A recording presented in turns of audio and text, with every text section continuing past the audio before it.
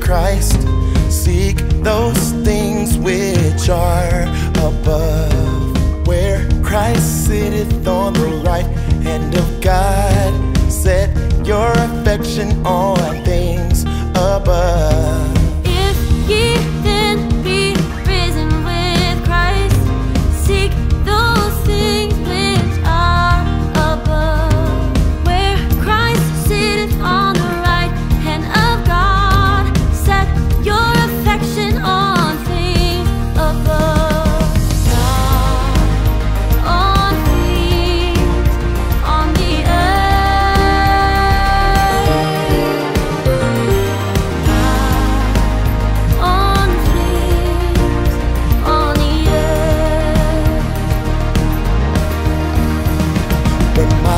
can corrupt and thieves can steal.